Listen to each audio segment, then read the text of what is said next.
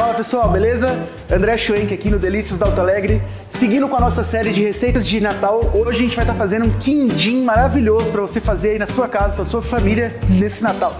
O primeiro passo da nossa receita é misturar bem todos os ingredientes em um bowl, só que com muito cuidado para não bater, apenas misturar. Esse processo é importante para que nosso quindim fique translúcido e brilhante. Após esse processo, uma das partes mais importantes e o segredo de um bom quindim é a parte de untar as formas. É importante untar com bastante manteiga e bastante açúcar cristal. Alto Alegre. Aí a gente despeja a nossa massa de quindim nas forminhas untadas e vamos deixar ela descansarem por aproximadamente meia hora.